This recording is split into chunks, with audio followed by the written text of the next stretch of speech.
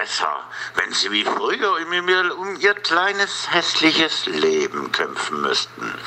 Dann wären die Spiele interessant. Sozusagen die Mannschaft, wo verliert, es werden danach alle hin. Die Mannschaft wird hingerichtet. Ausradiert.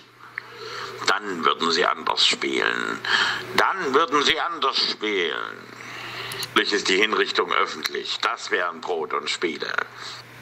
Beziehungsweise bei jedetlichen Gleichstand werden beide hingerichtet. So muss es sein. Nur das Volk ohne Nationalität braucht nicht spielen. Es spielt nur für Geld so wie es eine Rasse schon immer machte.